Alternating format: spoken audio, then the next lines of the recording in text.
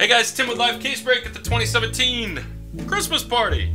We got Bill B here with the best basketball box. Ah, uh, he's going left. Good luck, man.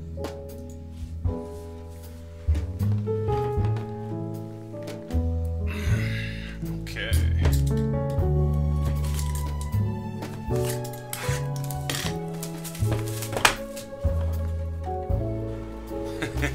Damn it, Ron.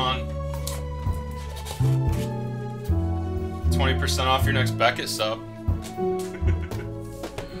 uh, Magic Johnson career achievements. And your hit. There's one per box here, right? Yep, just one in there.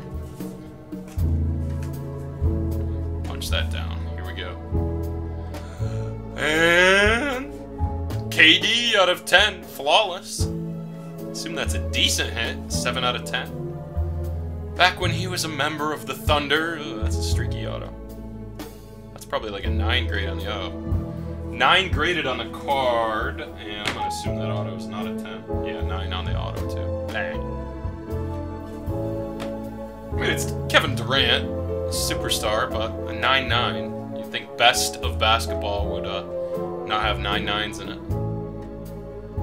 You know, just, just my thought. Did he? I, am not sure, Bill. I, he's one of the top five players in the game. He's uber elite. I just don't know how a, a fifth year auto of his graded 9.9 would sell. I would guess around 100, 150, somewhere in that ballpark. Maybe less. 9 out of 10 from Flawless. Highest uh, set they release each year. Uh, that's all you, Bill. I, I don't know basketball values that much. I love watching watching basketball, but I don't know the actual market. I don't collect it.